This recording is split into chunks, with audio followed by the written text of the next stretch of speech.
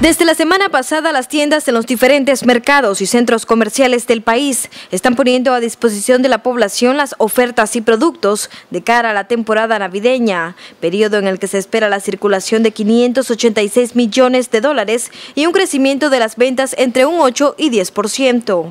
El aguinaldo proyectado ¿no? para esta época, para, para lo que es el 2014, viene siendo de entre 315 millones de dólares comparado a los 281 millones de dólares que recibimos el año pasado. Esto viene a, ser un incremento del 11.17% en volúmenes de venta, estamos hablando. Aquí estamos hablando de volúmenes específicamente.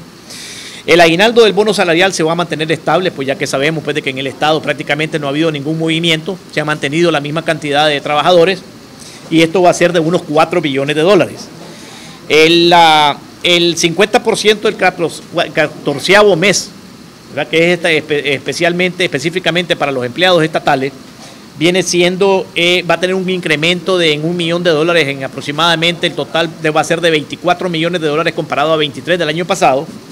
Eh, las remesas de noviembre y diciembre, sí, para los meses específicos de noviembre y diciembre van a ser de aproximadamente 217 millones de dólares, lo que viene siendo pues de que para cada mes va a ser un poquito más de 100 millones de dólares lo que, vamos a, lo que van a recibir en remesas eh, los nicaragüenses.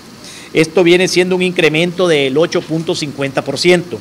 En lo que respecta a los créditos personales que está ofreciendo la banca nacional, esto sí estamos este, estimando eh, un incremento de prácticamente el 100%.